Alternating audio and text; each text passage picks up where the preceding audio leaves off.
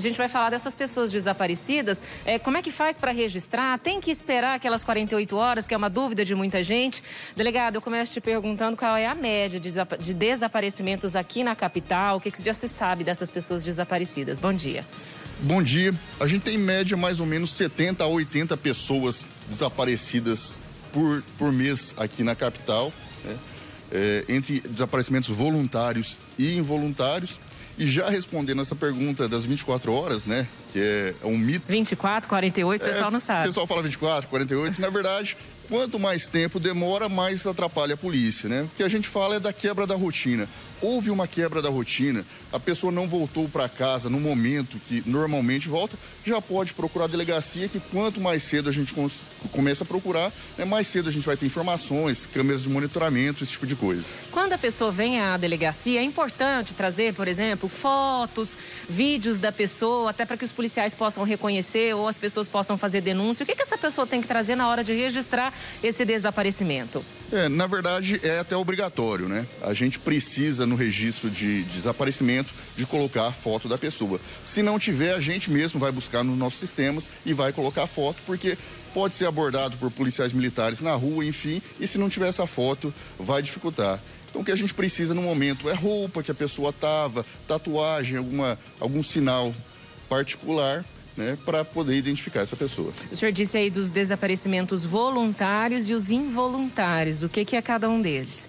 É, na verdade, o, o, desaparecimento voluntário, que é a grande maioria, eu diria que 90% dos desaparecimentos que a gente registra aqui é o desaparecimento voluntário, é quando a pessoa, por vontade própria, por uma briga familiar, uma situação conjugal. Foge com o namorado. Foge com o namorado, isso tem demais. Até para uso de droga, sai usar droga, enfim, mas por vontade própria. Isso é 90% do que a gente tem aqui, que é o desaparecimento voluntário.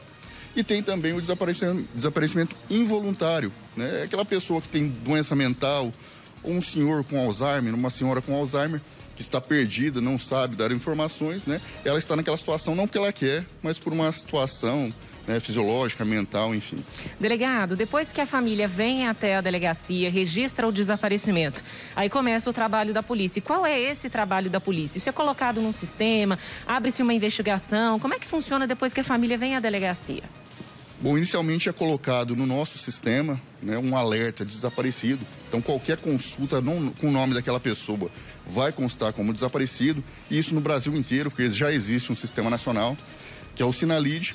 E depois a gente começa a diligência de praxe, ir ao local, busca de câmeras, se desapareceu com o carro, monitoramento de fluxo, monitoramento de eletrônicos, caso a pessoa esteja, né? Para a gente tentar chegar ao paradeiro daquela pessoa. Entender também um pouco da vida, do histórico, para saber onde está usando droga, não usa, enfim, esse tipo de informação.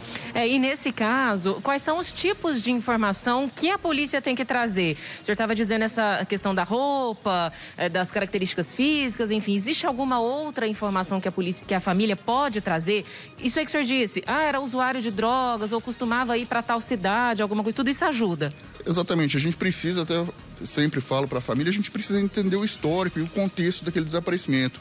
Algumas famílias ficam até assim meio desconfortáveis, a gente pergunta, ah, é usuário de droga, enfim, estava tendo uma relação extraconjugal, e aí eles ficam ali, não querem responder, mas a informação a gente precisa para entender aquele desaparecimento, né, o contexto que aquilo é, ocorreu. Então, tudo que tiver de informação que nos ajude a entender aquela pessoa e por que ocorreu aquele desaparecimento, a gente tem que coletar. E muitas vezes, durante a investigação desse desaparecimento, a polícia acaba descobrindo outros crimes, né? Desvendando outros crimes. No caso de denúncias, por exemplo, percebi que tem alguém diferente na minha vizinhança, que pode estar perdido, deslocado, às vezes por um problema de saúde, psicológico, enfim.